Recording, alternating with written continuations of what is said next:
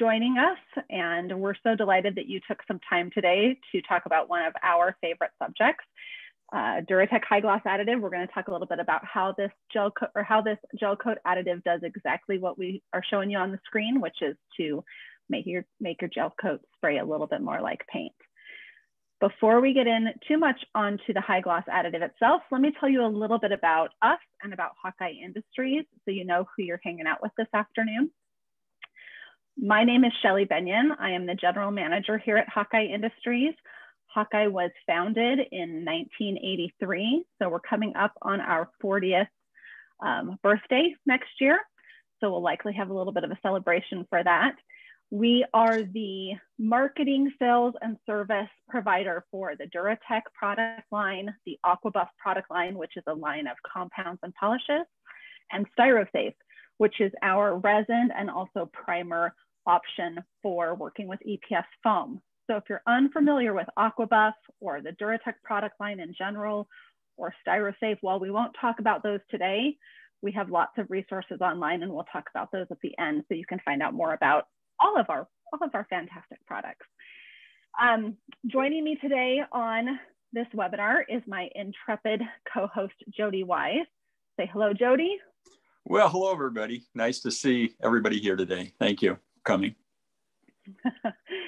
so Jody is our West Regional Sales Manager. So if you happen to have your facility, either a distribution center or a production facility or a boatyard and you are west of the Rockies, either north up into Canada or south down in Mexico and here in the US, Jody is the sales manager that would be the resource for you.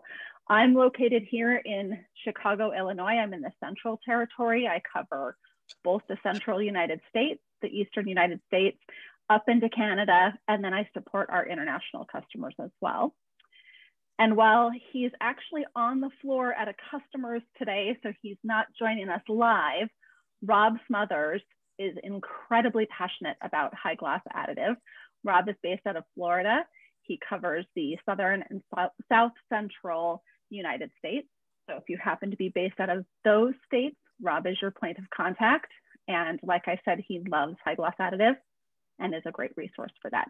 So he's not on our, our webinar today, but we'll have his contact information available for you at the end of our session. So like I said, we're located all across the US. Jody, Rob, and I are all across the US, as is our amazing customer service team. And while you won't meet them today, there are some of them hiding here behind their cameras, and they're joining us today both to continue their Hawkeye education and to make sure that they are absolute ready support for you when you call in with questions or when you call in looking for one of us. So they're here along with Allison Spees, who is doing our uh, slideshow for us. Allison is our marketing associate. And so if you haven't met Allison or seen her, you're seeing her throughout our presentation today. And you certainly see her voice if you follow us on social media. She keeps us, she keeps us hopping and making us look cool and fun on social media. So that's who we are. That's a little bit about what we do. Today, though, we're focused solely on one product, and it is one of our most popular products. It is the Duratec High Gloss Additive. This product has been around since the inception of Hawkeye Industries. It is one of the founding Duratec products.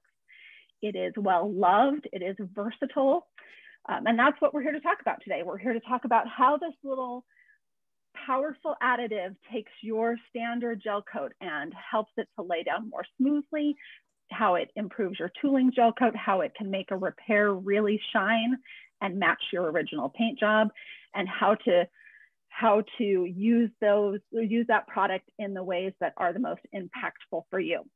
So at the very beginning, I mentioned that we'll be answering throughout this presentation, some of what we're covering are the answers to our frequently asked questions.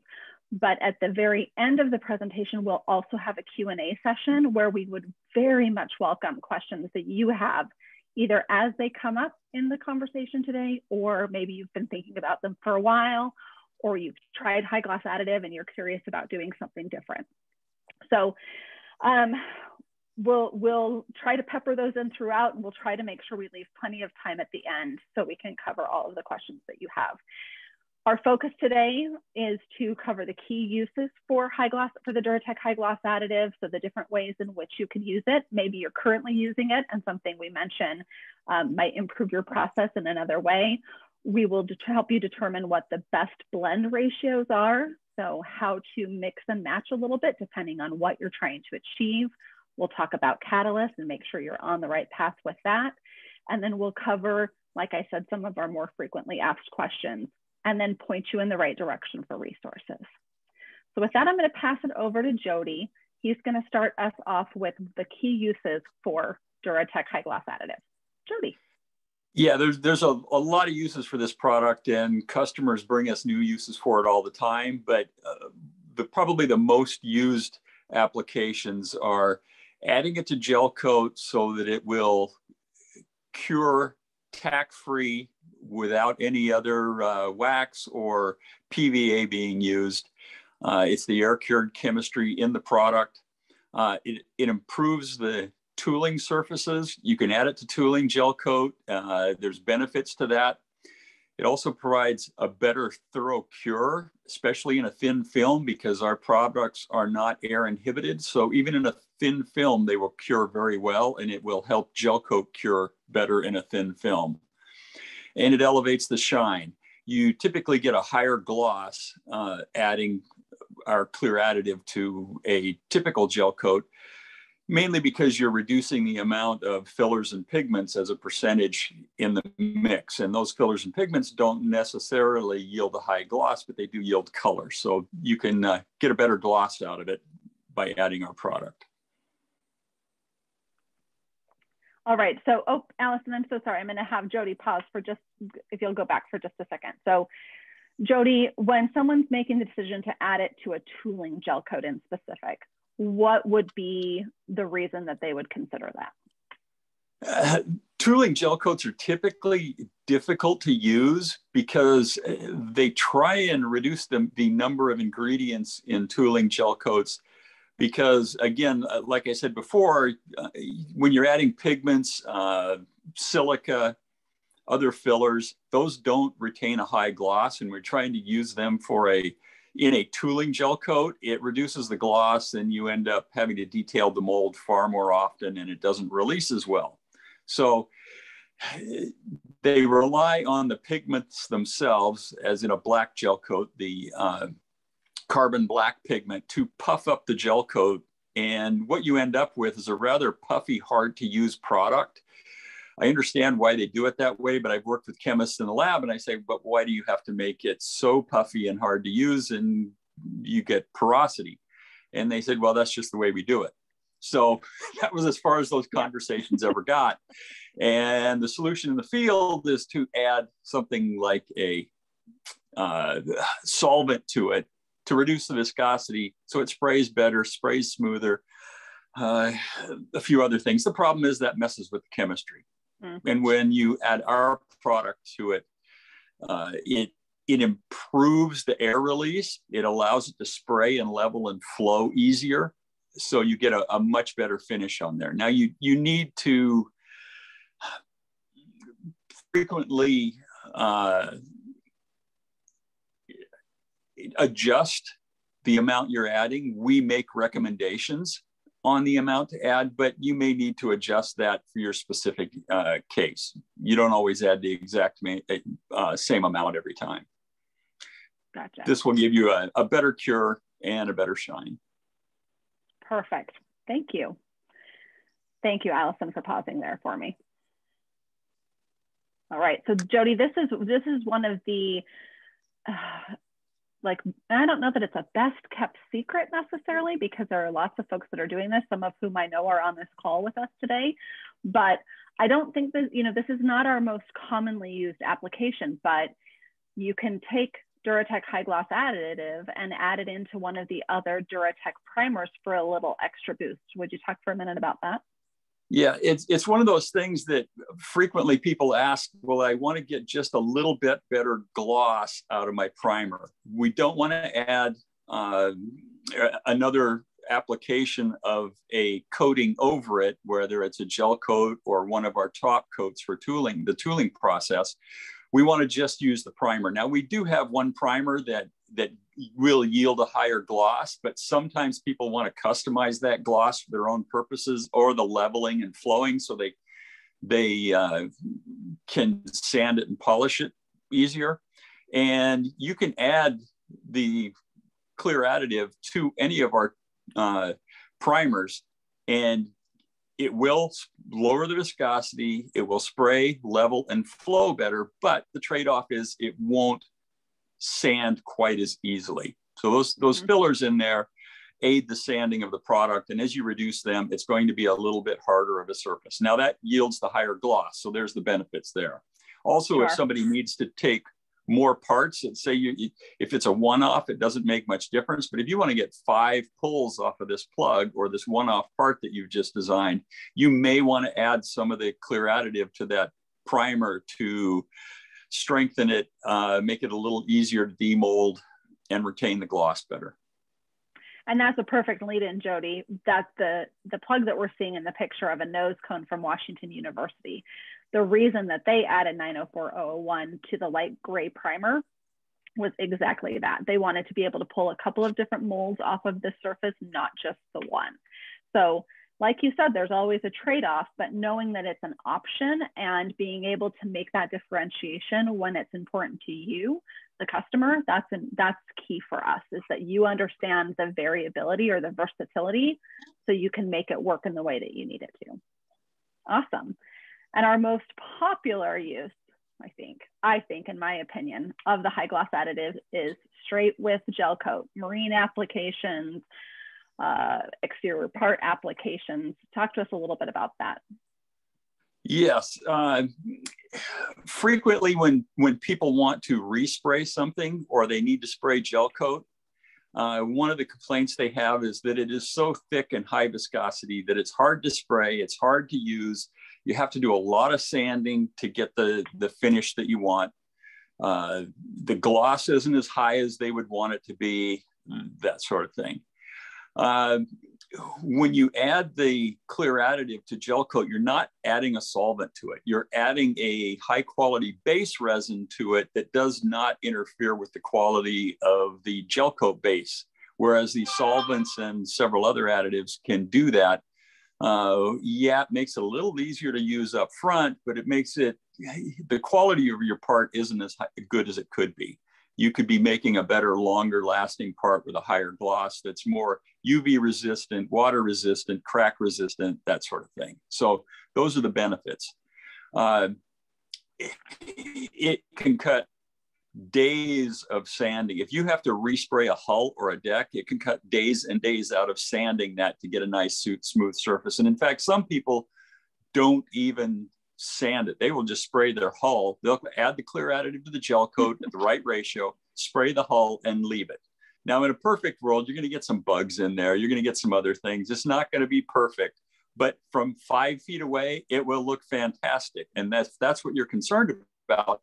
Uh, you just skipped all the sanding and polishing. But if you want an even better finish, you can go in with a much finer grit sandpaper and with much less labor involved and, and the cost of sandpaper, it, it, it, the cost is high. So if you can reduce the amount of sandpaper used, uh, it's a big advantage. And now you can get a very smooth, high gloss finish that can be repaired in the future. Yep, fantastic. Um, one of our most frequently asked questions, and it's referenced here on this slide, Jody, is the the necessity to use wax or PVA. And I'm going to stick. I know we have some variations on that theme, but specifically when we're talking about um, uh, this application, gel coats with 90401 in a kind of our standard use, does, does it require PVA or wax? It does not require PVA or wax used in this fashion. There are times when you may want to add wax to it, but I, I think that we can answer that in, the, in uh, more detail a little bit later, I think. Yeah, excellent. All right, just before we move off of this slide, I just want to mention the boat that is featured in this. This is actually a recent job. Thank you, Allison, for highlighting that. Uh, this is one of Rob Smothers' customers who did their entire boat interior and exterior with um, their gel coat of choice and Duratec high gloss additive. So it's kind of fun to see a little bit of that baby blue from, from our seats here. We're, we're kind of in a gray and red and darker gray world. So anytime we get a little color is fun. Thanks, Allison. This is, speaking of gray and red and white, this is a, another example of a whole finish with the gel coat of choice, a couple of different gel coat options and high gloss additive. You'll notice, and this is, this is why we have this slide here, you'll notice that we've got red and we've got white. And one of the questions that we get asked frequently is in regards to color choice, you know, gel coat color choice and mix ratios. So we're gonna shift a little bit and talk about mixed ratios. Jody touched on this a few minutes ago when, when he mentioned that we have suggestions, we have best practices, and then we know that what your experience looks like or what your desired outcome looks like might be slightly different. So we're gonna go through four standard mix ratio options and talk a little bit about the reasons why the difference and the variations. And then just know that if you've heard something different, ask about it in our question and answers. If you wanna try something different, customers test and trial things all of the time and tell us what magic they make with it. Um, we, we welcome the feedback from you. There's no right answer here. These are options for variation um, that come from the years that Duratec High Gloss Additive has been in use. So the first one that you're seeing on your screen here is the mix ratio for regular use. Maybe you're, um, like in that picture before, you're doing um, a full entire whole boat hole and you're, you're doing the entire work job. Um, in this case, you might want to mix, especially if you're using a white gel coat, you might want to mix 50-50, 50% high gloss additive with 50% of your gel coat, gel coat of choice. That 50-50 is going to improve the, as Jody talked about before, it's going to lower that viscosity. It's really going to improve the level and flow of the gel coat out of your gun and onto your surface. We're going to talk a little bit about orange peel here in a few minutes, but it's going to improve um, it's going to improve or resist the orange peel from occurring and, and help you to, to achieve the surface profile that you're looking for. So that's a 50% blend, 50-50, or one to, people will, will refer to it as one-to-one -one as well. If you're looking at our literature, you see it as 50-50. That one is not always recommended when there are concerns about opacity or hide. And that's where we come to this mix ratio of 75% of your gel coat of choice and 25% of the Duratec high gloss additive. That mix ratio will allow the pigments Jody mentioned before to really stay heavily sat to say to stay heavily present. Um, it will still allow that the, the gel coat to air cure. It will still allow um, for a high gloss, it will still improve the level and flow out of the gun, not quite, not quite same to the amount of the, or not to the same degree as the 50-50 blend would, but if height is particularly a concern or if your color is diluted, if you go 50-50, 75-25 is just fine. So those are the two um, with kind of the standard gel coat applications. If you're working with tooling gel coat, um, tooling gel coat, you know, it's the tooling gel coat is designed to be a different beast. It's not the same as a standard marine gel coat. It's, its form and function is slightly different. So how much you add on this slide, we've recommended 10 to 25%. Um, how much you add might be very dependent on what it is that you're trying to achieve. What's your goal? Are you looking for um, a, a, a way to avoid any kind of wax or PVA? Are you looking for a way to improve durability? Are you looking for a better gloss level? Are you looking for improved surface out of the gun? That 10 to 25% might flex a little bit based off of what you need from, from the performance. Now, Jody, we were talking about this when we met before. Is there anything on this specific one that, that I might have missed that you would want to add to this blend ratio? What this really does for you is it allows you to retain all of the good physical properties of the tooling gel coat and maybe improve a little bit on them and uh, allow it to spray out of the gun much easier. When I was talking earlier about it being thick and pasty, that's the nature of the beast for most tooling gel coats. And, and it can, depending on the pigment loading and the exact color, it can be a little bit different. Uh, but if you're trying to spray it out of a, a, especially a gravity feed gun or even a pressure pot, it can be difficult to do and it's kind of frustrating and you end up adding some solvent to it. Almost everybody you talk to adds some solvent to it. If the solvent helped, it would already be in there. So most of them are an inhibitor. They can interfere with cure. They can interfere with the hardness of the finished product. So you don't really want those things in there.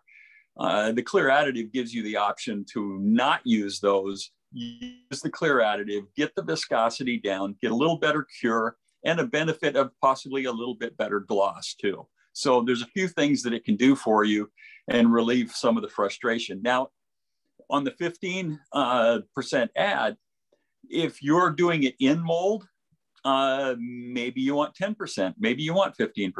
It's, it's totally dependent on the gel coat you're buying and what you're doing. You may want to adjust that ratio a little bit. If you're post applying this or refinishing a tool or spraying it onto a plug and you want to polish and sand it, you may want to add a little bit more of the clear additive to it so that it levels and flows better and sprays more like paint. Uh, you're, you're not compromising the physical properties of the gel coat. Now, if you want to build it up thick, yes, it's, it's going to have a lower viscosity. So you have to be careful you're not going to get any sags and you have to build it up a little bit slower but there's still uh, the option to do that without adding a solvent. And if you add the clear additive, you can typically get it out of your gun quicker. So now you're back up to the correct catalyst ratios for the gel coat itself. And you're not stressing over the fact that it's uh, 90 degrees in the shop and you just mixed up a quart of material and you're hoping you can get it out of the gun. This, this, this helps. It's, it's not a total cure, but it helps. Fantastic. Uh, we we've heard we've heard many of those those tall tales before. As you're talking, I'm smiling, thinking of conversations with with customers over time. So the last the last thing that we'll highlight, the last mix ratio that we'll highlight, and again, these are recommendations. These are based off of outcome. So as Jody mentioned, the 10% addition in mold with tooling gel coat might be the better fit for you. This is the mix ratio recommendation for use with Duratec primers. Again, the, the Duratec primer job is generally to prepare a surface for some sort of top coating, um, but there are times that your, especially if you're doing plug and pattern work, that perhaps your plug does not require an additional top coat, your finished part or your mold surface does not require the ultimate gloss, a class A finish, um, com complete, smooth, um, defect-free surface. It might it might actually require a little bit more texture, a little bit more um, uniqueness, surface surface uniqueness. So in this case, adding 25%, which was, if you remember going back, we had the 75, 25% blend for standard gel coat practices. The same is, is similar with the, the Duratec primers. 25% high gloss additive will improve your flow out of the gun. It will um, help resist orange peel across the surface. It will uh, strengthen the durability of that primer. So if you are doing this with a plug, it might it will allow that plug to be used in multiple pulls rather than maybe just as the one-off you had originally intended. Um, and it will bring the gloss of the Duratec primers to a, a medium gloss without a lot of sanding or buffing work involved. So sometimes that's a real win for folks who um, want to be able to take take their their plug surface and and create a mold off of that without a, a significant amount of, of time and expense added into it. So that's the last mix ratio that we're going to recommend today or that we're going to talk about. Once you've determined your mix ratio, this is, this is the conversation that we have often and that we really appreciate having often because it allows us to emphasize and to clarify catalyzing Duratec. So once you've determined your blend ratio, so maybe you're doing 50-50, maybe you're, you're kicking up the gloss level of Duratec surface primer, whatever your mix blend is, you catalyze to the full blend amount. Now let me pause for a second and clarify. You don't catalyze that entire blend amount, but when you go to use the material, you want to pour off. So let's just say you've blended it up. You've got your one completed gallon sitting off to the side. You don't want to catalyze that entire gallon of, of gel coat Duratec high gloss additive. The clock starts ticking. I'm sure all of you are nodding along because you know this. This is basic information, but it's helpful for us to repeat it you don't want to catalyze the entirety of that amount. Rather, pour off what you are going to be able to spray in, what would you say, Jody, about 20 minutes, 18 minutes? Depending on the temperature, between 10 to 15, 18 minutes, right in there. Okay. Um, so depending on the temperature, depending on the gel coat a little bit as well too. Right. Okay. We, we can't say exactly what it's going to be because because uh, all the products out there they don't all have all have the same gel time. So yeah. some of them are 10 minutes, some of them are 20 minutes plus. So it's it's just kind of a do a test first. You don't want to under catalyze. If there's any question, mix up and catalyze less product at one time and spray it out of the gun rather than trying to under catalyze and use a larger amount. Under catalyzing it, we say 2%. The, the ideal catalyzation is someplace around 1.75%. 2% is right in the ballpark. If we recommended 1.5%, people would be at, at 1% catalyzation. So really, if you can be at 2%, that's great. Uh, so often we hear of people at 1% or lower. Yeah, it eventually gets hard, but eventually getting hard does not mean that it's thoroughly cured. It just means that it seemed harder than it was when it was liquid state in the container. Uh, it won't retain the gloss. It won't be as water resistant. It won't be as crack resistant. The surface will be the surface will be softer and easier to scratch.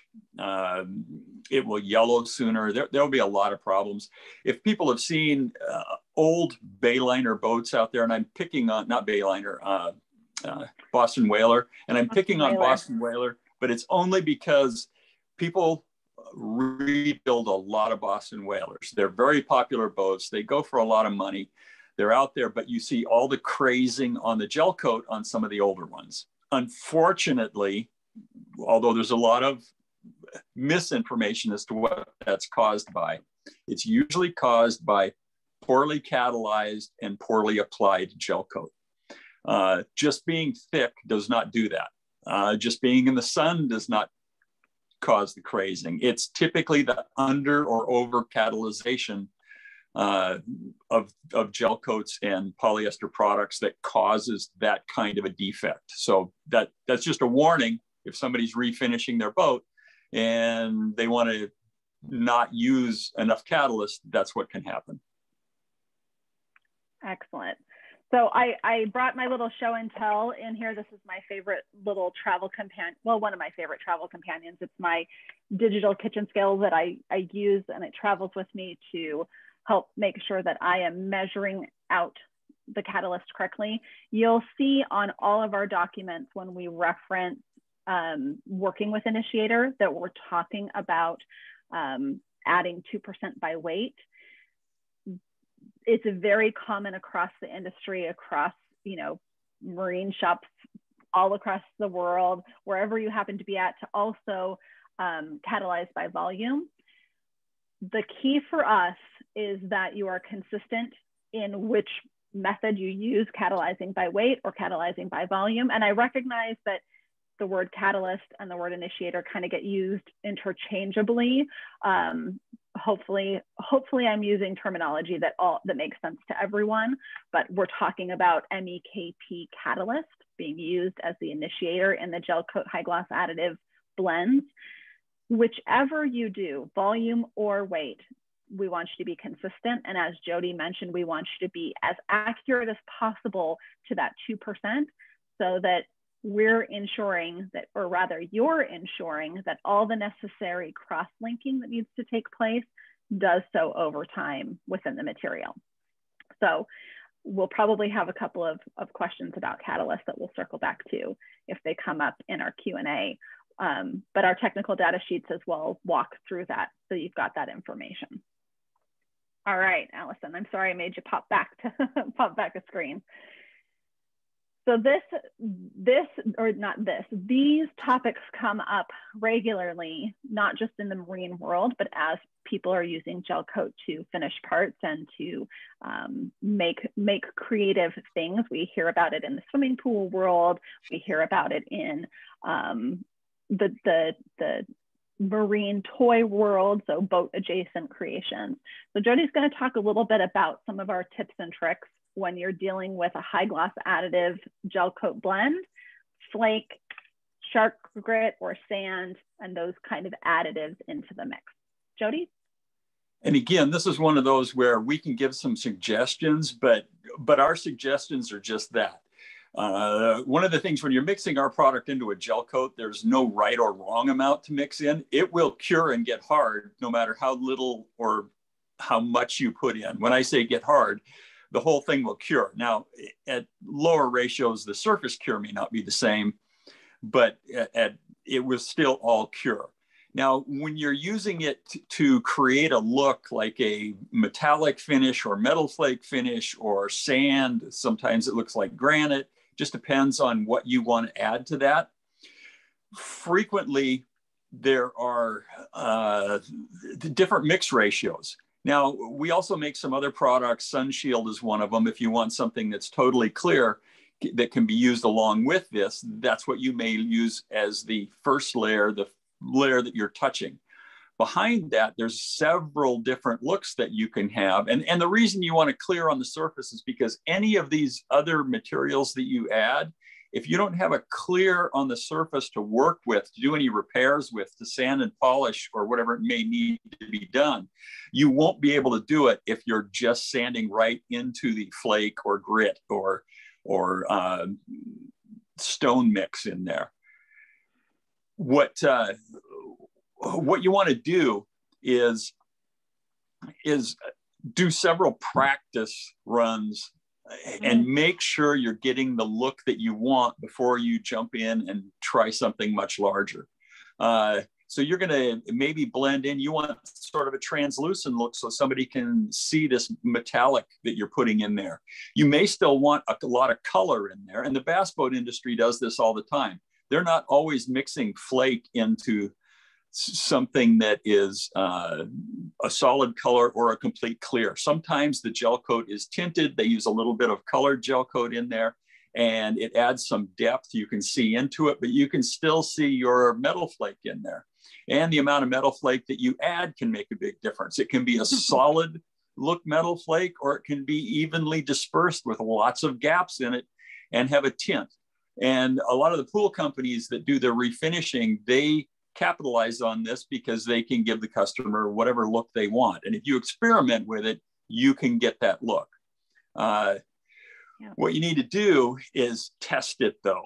Uh, take a piece of glass and an old window from when you had the windows pulled out, or go down to the to someplace, get an old mirror, anything, wax it up, yep. do some tests on it. You put the clear down first, you put the, and this is for in mold finishes to start with, because it's a reverse operation when you're post applying it. But you're going to want to put a little bit of the uh, clear down first and then your blends and do several different blends because it doesn't always cure and look the same or look like you think it's going to look when you yeah. use certain ratios. So change it up a little bit the background color can make the whole look different, the whole look of the product different. And so can any tint you put into one of the layers with the flake or grit or sand or anything else added to it. So you're going to get a different look. Uh, so experiment around. You, you, can be extremely creative with this. Uh, it can it can really uh, benefit you because you can get a unique look. But remember what you did and write it down because especially if you have to repair or do anything later, mix up the entire yeah. batch at one time so it's all the same. So if you have to come back and do some touch ups later or a second application somewhere, it all looks the same. You want to be as accurate as you can with each blend. But again, no right, nothing right or wrong. You're just looking for some for the what suits your needs for for this particular job or project. So Jenny, one of the questions I know we get with mixing sharp grit or sand into uh, when we're talking about any any application where we're adding sharp grit or adding sand specifically away from flakes for just a minute. One of the questions we frequently get is you know can i roll this? Can i roll this? You know i've i've put my original gel coat high gloss additive down. I've put in my sprinkle of sand or my layer of sharp grit whatever it is that i'm using and now i'm ready to put something on top of that can i roll it rather than spray it yeah, you can you can roll it. That's not a problem for for any kind of a non-skid surface where it's going to have a te- textured finish.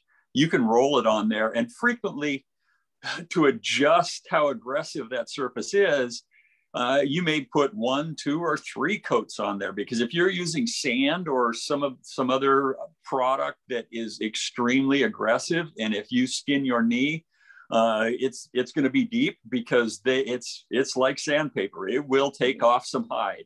Uh, some of the other things you can buy at the hardware store are much finer grit and they're not quite as aggressive. But if you've got regular sand that you're using, just put more coats over the top of it, roll them on, and adjust it for as aggressive as you want to get or the look you want to get. Sometimes the non skid is part of the unique look of the part and they want a certain texture.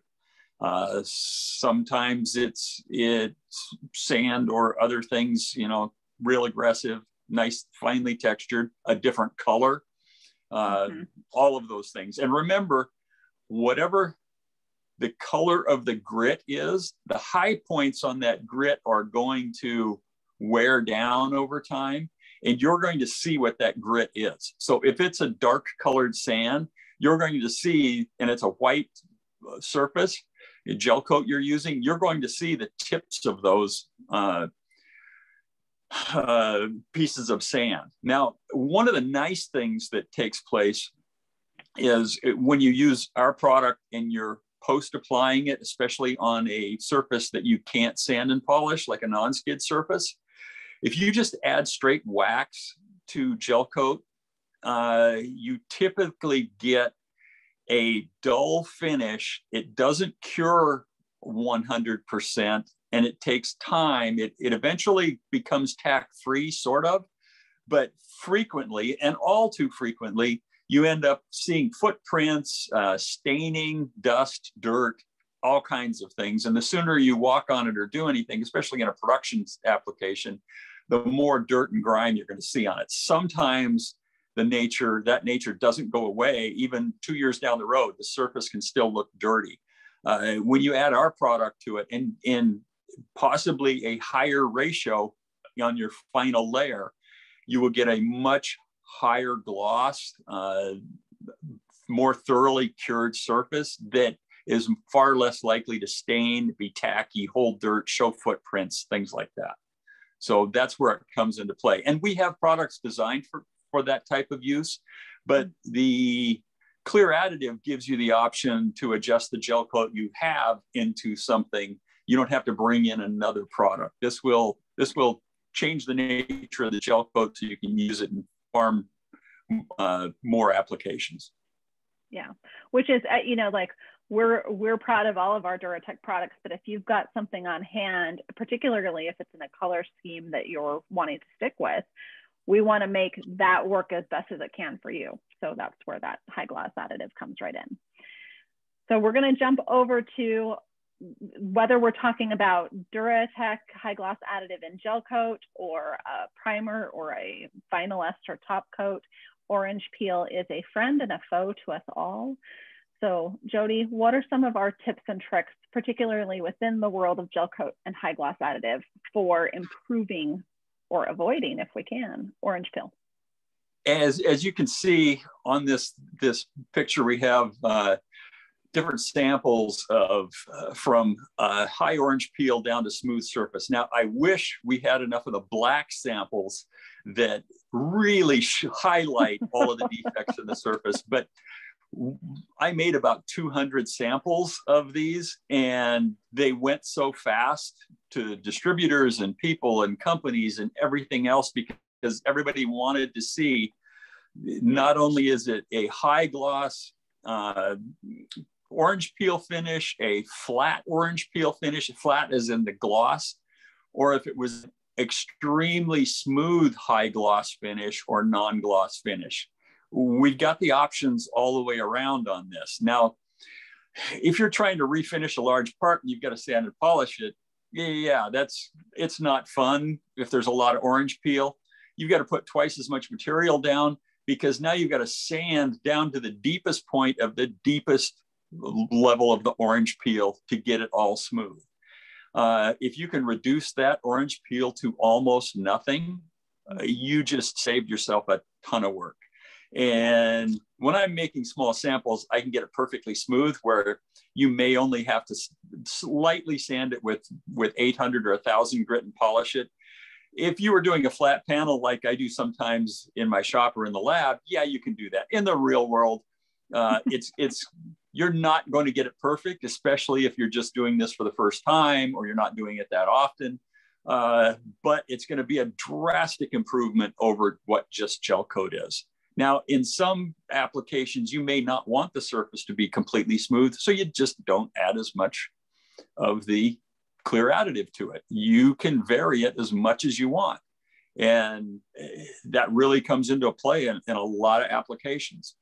Uh, one of the things that some of the industrial outfits will do, uh, and agricultural bins are one of these because they're out in the field, they're picking all kinds of fruits and vegetables, and these things get stained with whatever goes into the container. So they're using a low cost gel coat that they apply to this. They post apply it. It's not an in mold coating on the outside of these but after the fact to cure the surface and make sure there's no staining and uh, to, to make things go much faster, they just catalyze the uh, clear additive on its own and spray a very, very light coat over the surface. Now, this isn't always a solution, but it is an option in this way because you will get a very good surface that's that's high gloss and resist staining. Uh, it will be a different look than if you add it to the gel coat, but in an industry application where you just want an easy to clean surface, this may work just great because they can go in and steam clean these things. They've got a nice surface that just sheds all of the contamination right off of it, and their customers are much happier. Now, in a bilge application, that could be what you want to do. You've coated your bilge, and you want a nice high gloss finish in there and you didn't add any of this to the existing product, you can just come back and spray right over the top of it. And now you've got a very smooth, uh, smooth as in uh, not a flat non-gloss finish, which tends to be a little rougher and uh, easier to stain. But all the oil, everything else will just wash right off of it relatively easily. So Jody, where does where does tip size choice come into play? And and Allie, you can leave this slide up because it's perfect segue into general Q and A's. But you know the different mix ratios play out in terms of what the ideal tip size. But generally speaking, part of of avoiding orange peel comes down to spray technique, the pressure, and the tip size. Do you have a general recommendation? Right. To get gel coat to spray in general, you, you if it, if the surface is very large at all, and we're not talking about a little spot repair, but something you, you're trying to spray a larger surface, you need at least a three millimeter tip to get much gel coat out of there and speed things along. Otherwise, whatever you catalyzed in that pot's probably going to be hard before you finish. So uh, you're going to be at a, at a three or so. Now, I uh, typically gel coats and our products are they're not sprayed like an automotive paint is you're not atomizing it as much as you would with an automotive paint you can but sometimes you get a bit of a dry spray. The chemistry is different. You need our product to flow on the surface a little bit more and because it's a higher viscosity you don't want to lose solvents.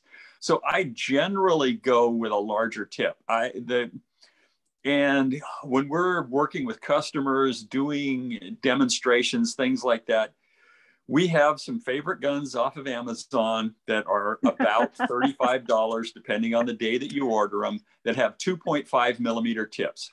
Depending on the day, you may get three tips, you may get a, a set of wrenches with it, you may get regulators. Uh, so check around. You can get some a pretty good package of things for $35. You don't need to yeah. spend $300 on a spray gun that is a good one for automotive paint to, to get good results with our products. Yeah. Um, then you don't then you don't cry when that gun guns up. yes. yeah. Mm-hmm. When uh, that when that pot life kicks and that that gum starts happening throughout your spray gun, that thirty five dollars is a little bit easier to swallow if you can't recover. You know. Yes. Uh, there's there's companies that they just have another gun on the shelf, and as soon as that one gets hard, it doesn't even pay to clean it up. You can just throw it away.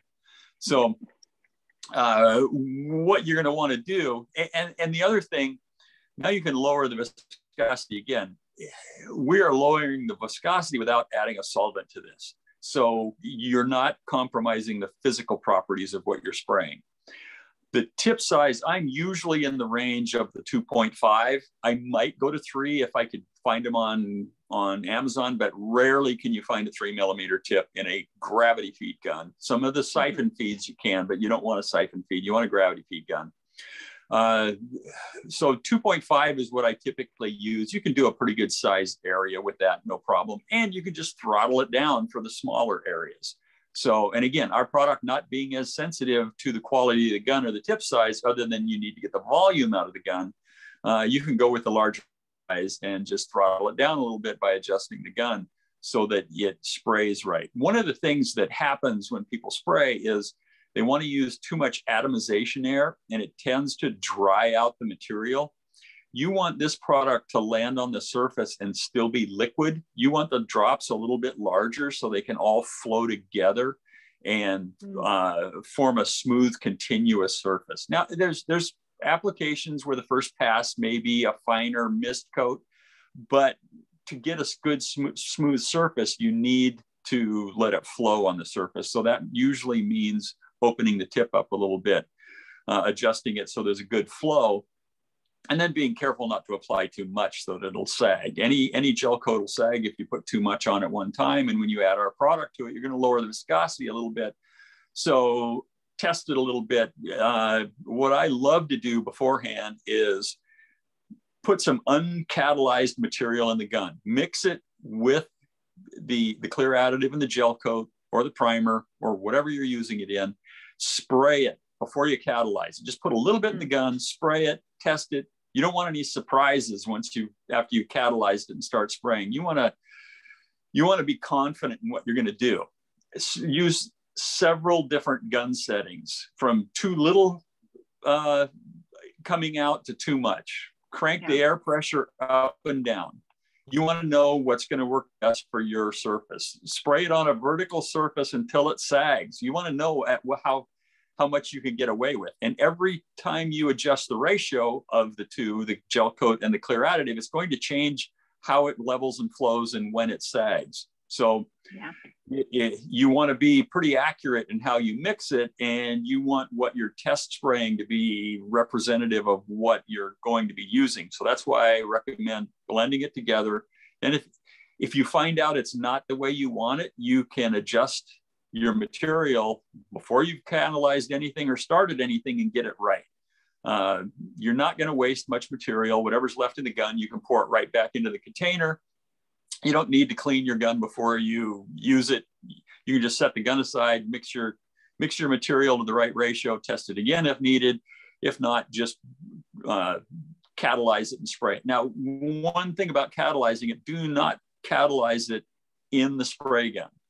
Uh, because anybody that's worked with fiberglass or gel coat, anything resins, always sees that it's so common to have some uncured material in the bottom of your tub after you've uh, mixed a batch. It stays sticky. What it means is that area was not properly catalyzed, and by default, other areas of it were over catalyzed. You want the catal- catalyzation to be uniform throughout the entire mix. So mix it in a separate container thoroughly for at least a minute. Now we recommend using a drill motor with a mixer on it so that it's a more thorough mix. But if you use a stir stick or something similar, be sure to mix it thoroughly. Scrape the sides, scrape the bottom, and don't do it in the spray gun because yeah. you will not get an even mix in there. You're going to get areas that that may be under catalyzed or over catalyzed, and you're going to get a different uh, result on the surface. So yeah. that's that's what you want to do. Uh, Jody, I'm just going to jump back to something that you said before it actually popped up. Nate popped a question into the Q&A regarding um, a link to a favorite a favorite spray gun. So Nate, I'll tell you this, that we, we in our lab, we have a couple of, of expensive um, highfalutin spray guns that we do enjoy using. But by and large, um, what what Jody and I find is on Amazon or at Harbor Freight Tools. Um, and, I, and I'm saying Harbor Freight Tools not because I love them. They happen to be about five minutes from my house. So you may have another, um, you know, we're not co-branded. You may have another uh, another place that you can pop over and get a gun. They tend to be decent. Um, again, we're looking for HVLP. We're looking for that 2.5 or 3.0 spray tip nozzle. On Amazon, like Jody alluded to before, it kind of changes every week um, based off of what's available. It, it, these are not high end um, or brand name spray guns that are that are on there. There, don't get me wrong. There are some you can get your 3M AccuSpray from there, which is a great gun. Um, but the ones that Jody is referencing that we tend to carry around, we carry them around in our the trunks of our car, and we often leave them because for thirty-five dollars we feel like you can use it and make good use out of it. The the brand names kind of fluctuate every week, and I don't know, Jody, that you and I would really know what those brands are. and sometimes the guns are purple, sometimes they're green, sometimes they're blue, sometimes they're just yeah. a silver color. You you don't know but in for all intents and purposes they're all almost the same and they perform about the same again like i said some of them you might get a wrench it, it, you know for the $32 gun that day you may get a, a regulator and a wrench and three other tips yeah. And yeah. the next time and that's you oftentimes he, Jody and I are looking for is those three other tips. We want we want tips that will work with gel coat high gloss additive and tips that will work with Duratec high gloss top coat. So we're the, the three tips is a sweet spot for us. Yes. So you're, you're getting, you know, just a better deal when you can get more thrown in there. And if you mess up the gun, you do have another tip, nozzle and needle, everything to use right there. So it may not be the exact same size or ideal, but it's right there on hand. So, you know, you, you've got that option. And the regulators aren't fantastic but i haven't had any fail on me. They they're accurate enough. They work. So i don't complain. Uh, i've got some that are years old and some that are new and i can't say that i've had a failure on any of them but they're not something you want to put a $40000 paint job on a custom automotive uh, uh, refinish situation it's it's they're not that gun they're they're ones for spraying primers and top coats and gel coats. Perfect. So we've got a couple more questions that we'll, we'll answer before we close out our session today. If we didn't get to your question or if you think of something, if you're like me and you think of something 15, 20, 30 minutes, two days after today's webinar, you're going to see Jody, Rob, and my contact information. Please reach out. The best part of our jobs is you. So reach out and talk to us and ask us questions. So some of the ones that I'm in, does Hydrative work with all coats or just in this attendee mentioned Duracoat? Duracoat is one brand of gel coat. It happens to be manufactured by Dura Technologies, who manufactures the high gloss additive. The Duratec high gloss additive is compatible with most gel coats. And we say most because between Jody, Rob, and I, and all of our Hawkeye predecessors, we have not tested, trialed, seen, had our hands on all of the gel coats that are out there. So it's designed to work with gel coat chemistry and with the gel coat initiator package or promoter package. We always recommend that you test it out. And part of why we recommend that testing is because it gives you the best idea of gel time and cure time. So gel time for different gel coats is different. Cure time for different gel coats is different. How that plays with the Duratec additive changes a little bit. So testing, like Jody mentioned before, gives you a really good idea of what it looks like and what its performance is like. So thank you for that question. And, and to add Jody, to that a little bit, oh, yeah. color, color will affect how it cures and how compatible it is. If you are uh, color matching something and you add a lot of pigment to a gel coat, it will inhibit the cure of the gel coat. So it's going to, it can be problematic. And since most gel coats, well, 99.99999% of all gel coat is formulated and is used in mold, eh, gel coat just happens to work most of the time when you post apply it. There's no real R&D work done to ensure that gel coat can be used as a refinishing product. Yes, there, there are companies like us that use specific formulation so that gel coats can be used or gel coat type products can be used in post applied applications more like a paint. And our products are designed for that uh, use, but gel coats in general are not.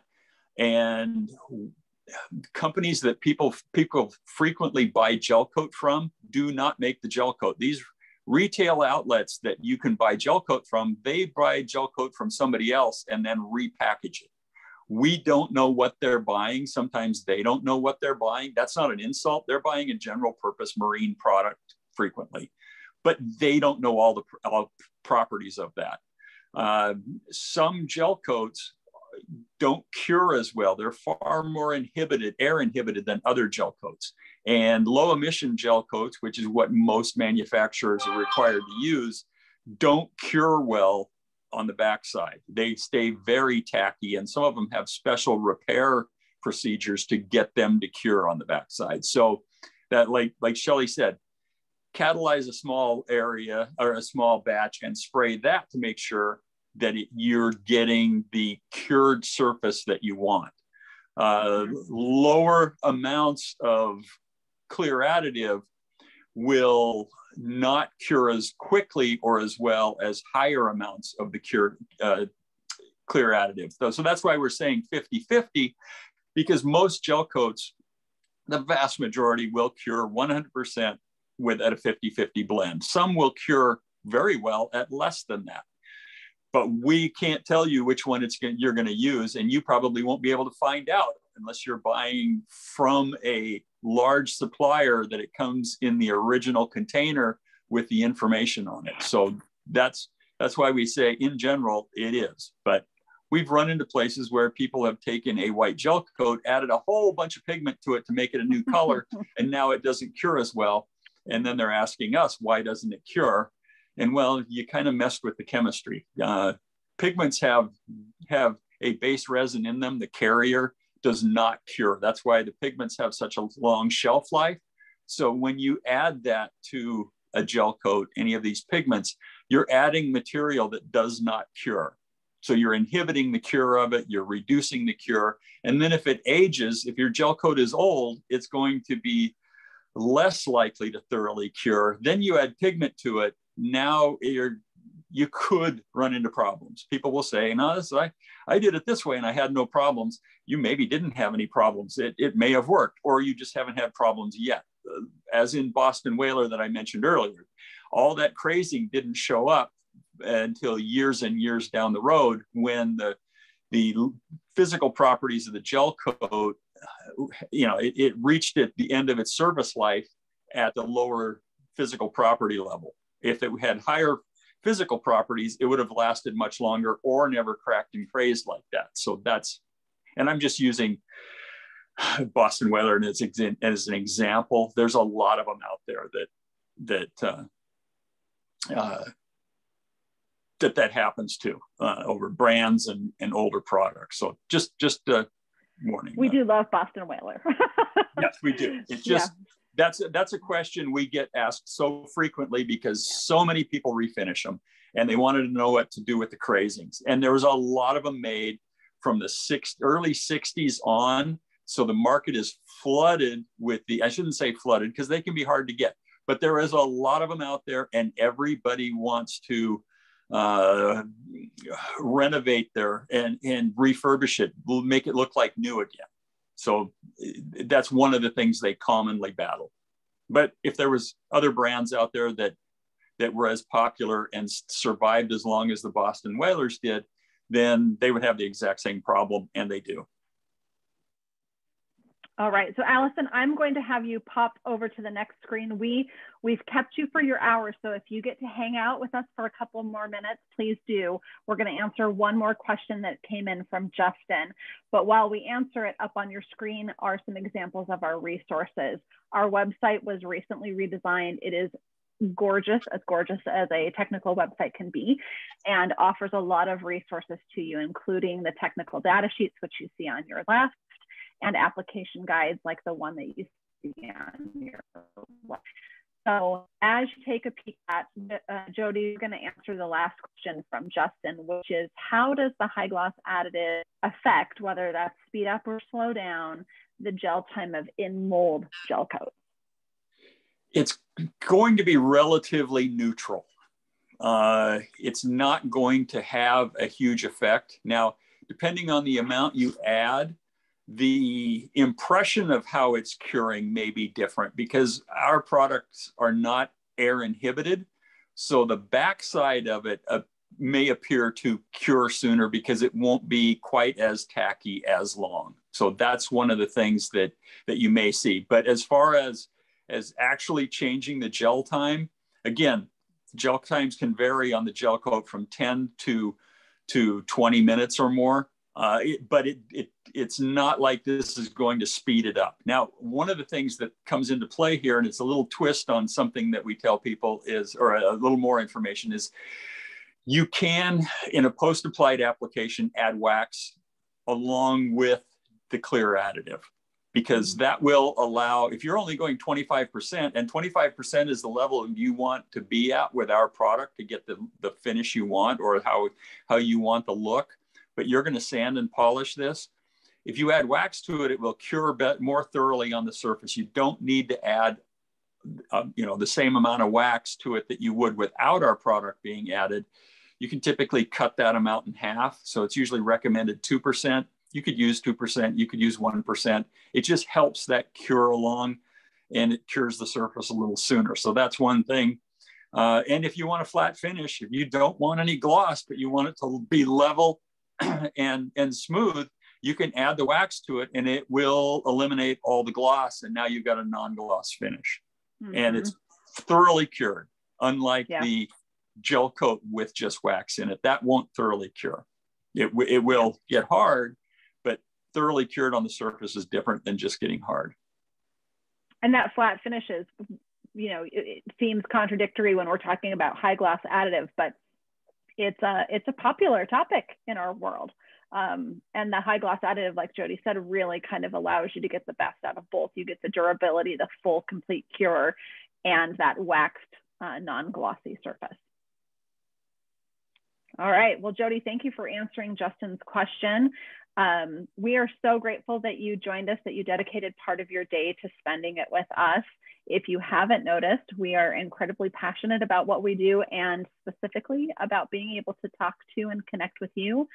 So you can see all of our beautiful smiling faces there for you. Jody, Rob, and I are absolutely here as resources for you now, later, in two years when you think of something that you need to ask us. In addition to our website, you can contact us directly. You can reach out to our customer team, our customer service team. Just let us know how we can help. And again, thank you so much for your time. Jody, thank you for always being such a fantastic co-host. And keep, keep watching us on social media. We have more of these webinars throughout the year. So follow us on social media, give us a call, and thanks again for your time. Bye, everyone.